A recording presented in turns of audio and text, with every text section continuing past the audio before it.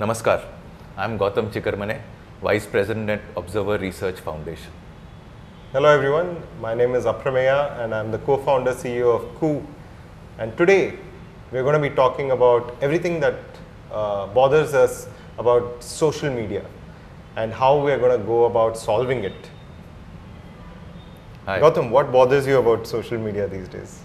Okay, the first thing uh, is, you know, I, I would have started with consumers, my experiences, or what I see around me. But after Ukraine, those are those have become very small problems.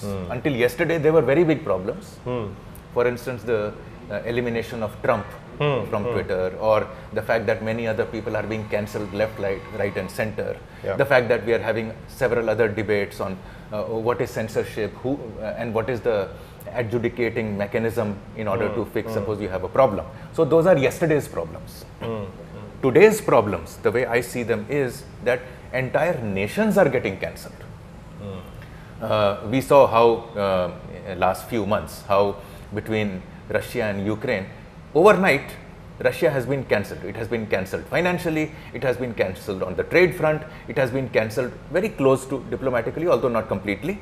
But most important, the conversations have cancelled. So the news that I get today is all through the filter of the Western media. It's one side. I'm not saying that. I'm not justifying either of the two. That uh, uh, who is at blame? That's a separate debate, and not that is not what is bothering me. At a conceptual level, if the global tech is actually a local tech masquerading as a global tech and is vulnerable to the domestic politics but having this large footprint, large hmm. span across the hmm. world, hmm. where you think Twitter is my, for instance, for me, Twitter is uh, is a very important part of my work, of my conversations. Now, tomorrow, if overnight India gets cancelled for whatever reason, it is completely not acceptable to me. And as a result, I believe companies like yours, Koo, which are creating alternative platforms, which are coming up slowly or perhaps not Uh, uh, technologically, maybe a couple of generations here and there, hmm. are they, they have a very important strategic value, Yeah. which is that the conversations that we have are not dependent upon US Somebody legislations or US government or some foreign government. So on the one hand, that is the problem. On the other hand, there is a country like China, which is the next model, which can infiltrate because of our democracies into hmm. our platforms, talk to hmm. us, influence us, but there is a big, great red wall that we cannot enter China. So there is no conversation. They are influencing us like a psychop, like a like a strategic. Uh, they have weaponized their uh, our systems Correct. against ourselves Correct.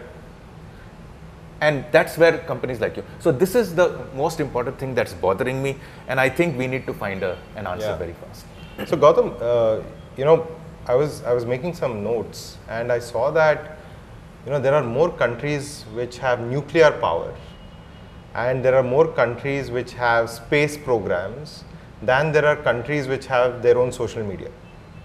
Like the only two countries which have given social which have social media and are being used by other countries are US and China.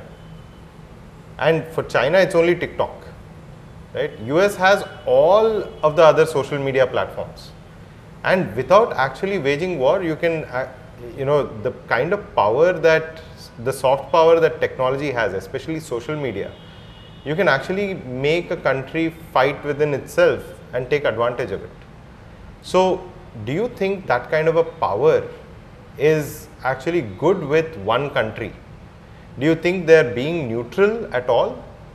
Uh, do you think you know is there a solution to move them towards neutrality like for example you know when when i am building Koo, the biggest challenge that we have is for the english audience of india to realize why they should use Koo. because you know most of the english speaking audience of india actually without knowing has been colonized in their mind and they don't want to talk to the rest of India in their language. So Koo is all about inclusiveness, right? We want to include people uh, who are talking Kannada, Hindi, Tamil, Telugu to the English speaking thought leaders. And that is why we exist.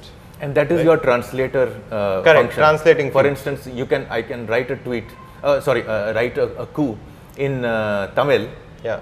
Tell me to translate into English, and it becomes English as Correct, well. So correct. I get extremely local ideas, local thoughts Yes. in a diverse Back language. to you. Otherwise, you're in a bubble of English-speaking India, which is talking to itself and hoping that the rest of the world listens. But So I think this is a great innovation, Yeah. and uh, I, I sincerely hope this gathers momentum. So as we are talking and, uh, and what you were saying, I, I think so. On the one hand, you have American tech or Western tech. On the other, you have Chinese walls Hmm.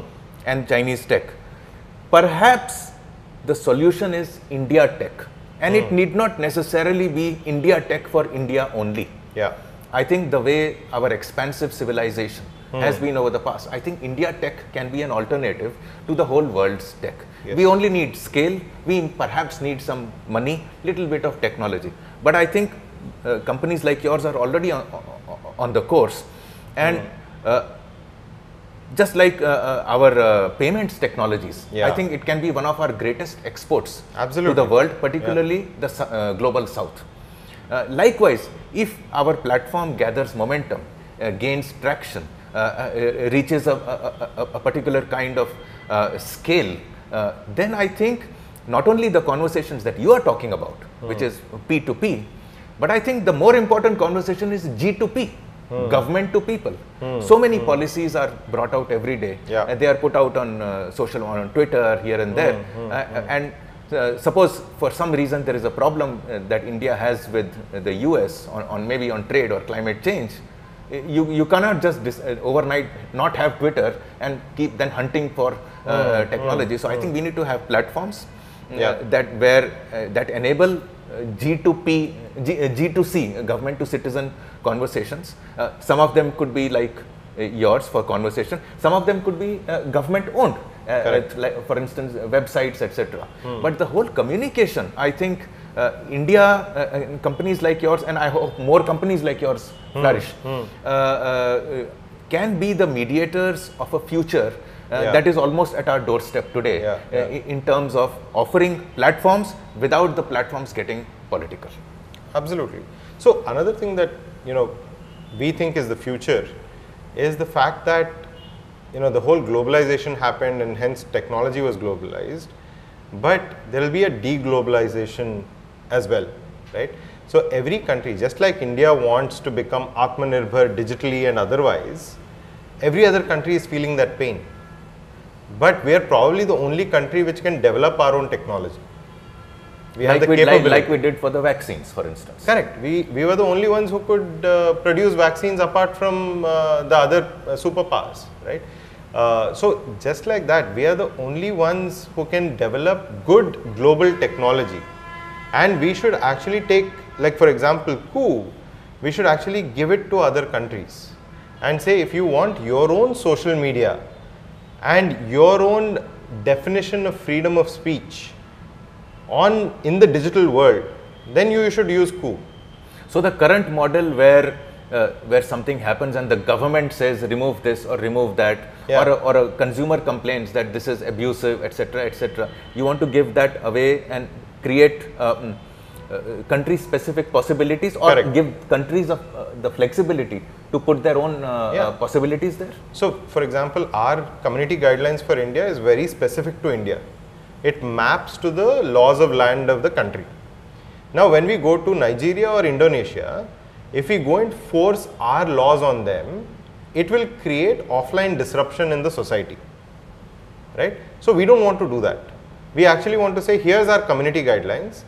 Please modify this community guideline based on your country to reduce all friction for us to enter.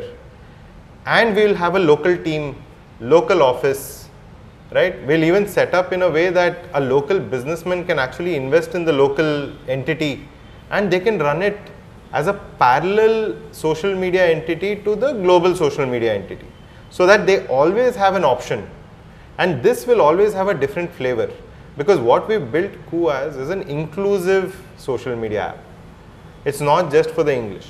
So, So yeah. the related issue then that you might face, and therefore perhaps we need a solution for, or at least uh, know what we are getting into, is is Koo a not-for-profit, a social good? Is it a public good, or is it a private enterprise uh, that has stakeholders that could get listed tomorrow? It could be a unicorn or multiple unicorn tomorrow, etc. The moment there is a a company business that Hmm, comes into it, how do you then just give it away to Nigeria or to Indonesia Yeah. uh, to do what they want to do? What is the, what uh, have you thought this through? Yeah, so as in we, we've also started disrupting in the monetization side as well. So what global tech does or global social media does is it takes time and attention investment from a user. It takes creations as an investment investment from the creator. It takes this and sells it to an advertiser or a brand and makes all the money. But nothing is given back to the people who have invested into it in the first place. So what we have done is actually we've opened this tap. We've said, Mr. User or Miss User, you have invested your time and attention. I have been able to make money from an advertiser. Here's, I made 100 rupees, here's 5 rupees for your time and attention. So we are actually sharing back to a user. Is that happening? Are Yeah, we've already started. paying cash to people. not cash as in we've de- developed our own economy where we're giving out uh, you know what we call Koo coins and those coins can be used to pay a creator also from the user. So the creator is also happy. So a successful as in uh, social media is the one that is most aligned in terms of everybody's success. So there are four stakeholders in any social media app, right? There is the platform itself, there is the user who consumes, there is the creator who creates, and there is an advertiser who wants to uh, come and show their ads. All four should be happy. Today's model keeps only two people happy, which is the platform and the advertiser, monetarily right? Everybody else has to figure out their own money otherwise. So we are disrupting it by making sure that all four. So let me interrupt. So now, uh, then you are talking. What you're talking about a Koo coin is like a Bitcoin. I think it's not. It's not Web three. It's not listed. What is it? Then uh, how do I It, transact? it is a loyalty program. That is basically what it. do I get in return for uh, my loyalty? So you will get coins. You will be able to take that out as money at a certain ratio. But that is a loyalty program. It's like you know, Jet used to have these Jet miles. Okay. You're booking more and more jet, and hence you'll get miles. You'll get a free ticket once in a while, right? Just like that, you use more and more of Koo. So I think this is a great experiment where uh, the, the like, where all stakeholders get together, Correct. and therefore it becomes a public good while being private in its uh, uh, constitution. Eh, Absolutely. So Nigeria will will develop its own system where their advertisers, Koo Nigeria. Who owns the IP? Suppose it goes to Nigeria. So we will always hold a stake in it, but there will be investment in locally. There will be an entity locally. There will be an office locally. There will be employees locally who will develop it. So this model seems to me, once it scales up, it looks as though it can challenge global Yes. tech uh, on their own um, uh, terrain and uh, offer this new solution. Now this solution is a great solution. It, it is very easily copied. Hmm. Twitter tomorrow may want to copy it. Uh, how do, uh, or is it the first mover is going to help uh, Koo move? No, so as in legacy social media will always have a problem giving away whatever they are already earning. We as a new entrant can introduce the model and hence grow with it. Because today the short term loss of any global social media starting to distribute its earnings, a part of its earnings will have to go to the user and creator. Why will they lose money today? they're under public market pressure to keep growing, right? So I think it's a brilliant opportunity Okay, for so us. now uh, how does uh, this third, uh, th- the third kind of, so there is uh, Western tech, there is China tech, China, Russia one, Yeah. Western one, and there is India tech. India tech. Now, how does India tech uh, take care of its uh, free speech, uh, uh, censorship, uh, cancellation? Uh, are there new policies there? How do you ensure that there is no um, abuse and this is what will be finally what began the whole uh, dissonance in social media was some people began to abuse uh, some people began to uh, uh, you know uh, harass women uh, users Uh, then it became political, political, then it fell into uh, regressive territory, Yeah, yeah, yeah. and so on. So there was a downward spiral. I think the challenge here is that uh, how free do we want free speech to be? Hmm, Uh, uh, as Samir Saran uh, of ORF uh, once said that you know we have free speech, uh, but that doesn't mean that I can go to in, in front of your house and start uh, screaming, shouting, and ab- abusing you. That that. Yeah, is not yeah, free yeah, speech. correct. So how free should free speech be? I, I think that itself becomes uh, a, a- an issue that companies like yours would need to uh, negotiate, uh, think through, such that uh, you are not seen to be censoring, but you are trying to fix the problem. Have you given this Yeah. any thought? So I think anonymity is a big issue, right? Uh, the more bots on a platform, the more automated your system seems. Uh, while we will move towards, you know, automation of real people, right? Uh, any bots, any trolling that happens is usually, you know, if you if you've opened up for bots, that's what happens, right? In our case, we, we are actually taking two, three fundamental steps. One, 98% of our users all log in through a phone number, not email. So legacy systems are all email driven. The new systems are all phone number driven with an OTP. So you broadly like made sure uh, the the person Yeah, is real. The risk gets reduced because cha- changing SIM cards Is much- maybe 5,000 people would be able to do. But when you're talking about millions, Emails. millions of people, Correct. Clearly uh, the, the, the scale definitely reduces, although it, it need not always end. Yeah, and what we've also done is we've taken the uh, authentication of real people to the next level on Koo. We're the first social media across the world to say you self verify yourself as a real person. So, one is the phone number OTP, second level is you can actually go and self verify yourself with a green tick. Our eminence verification is a yellow tick. Self verification as a real person is a green tick where you will enter an Aadhaar number, your Aadhaar number, you will get an OTP, and once you enter that OTP, you will get a green tick, which means that your whatever you say on Koo gets a lot more weightage naturally because you've authenticated yourself as a real person. And as soon as you authenticate yourself as a real person, the abusive nature of that handle reduces. You will have more sane conversations like you would do in the offline world. Like in, in a hall full of people, you will not say whatever you want because you everybody knows who you are and they can take you to task. Similarly, But then that would, uh, as the argument goes, and I have not really made up my mind uh, on which side of the debate I am, but the debate definitely exists, which is that I am a harassed entity, afraid to reveal myself, but I wish to be to point out to some wrongdoing, let us say, Yeah. by a company, by the Yeah, government, yeah, by the municipal authority, by the local uh, uh, water, uh, water, electricity. These- are the problems of governance. Now, if I were to bring my name out in public, I might become vulnerable to the powerful people. Hence, Hmm. anonymity has a place. On the other hand, anonymity to uh, being used politically or to abuse or to push a narrative is the is the downside that Hmm. Yeah. that we see. And now balancing the two, I think, is going to be crucial. Uh, I haven't yet dis- uh, no, I haven't yet thought about it, Hmm. but I think this is going to be one of the big challenges that companies like yours Yeah, would be facing. So I think we we want we want to keep the user at the center of everything. Like whether it is the platform ourselves, government, advertiser, or the creator, everybody wants the user.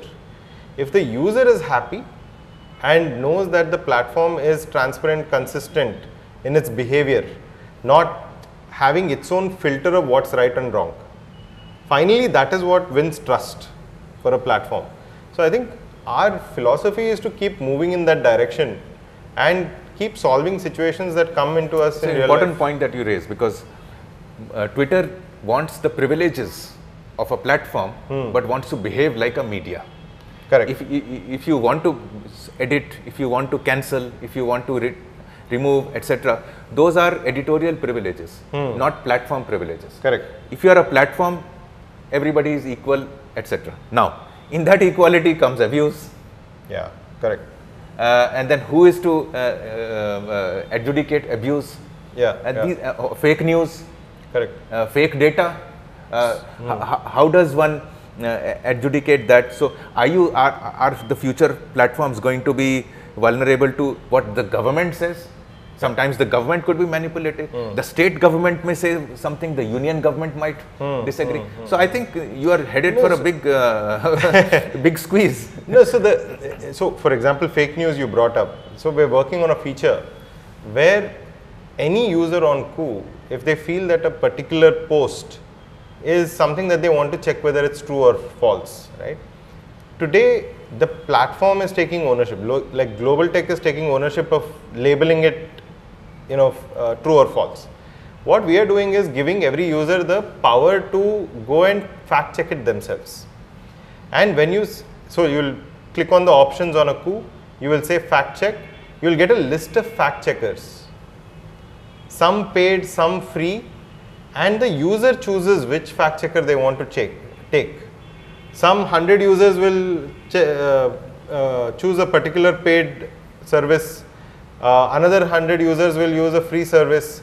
Now, our job is to show the result of a mix of all of that saying this has been fact checked Say 75% of the fact checkers believe this to be true true. Only 25% believe it to be fake. fake. And give the whole list of people who think it's fake and who, who think it's uh, true.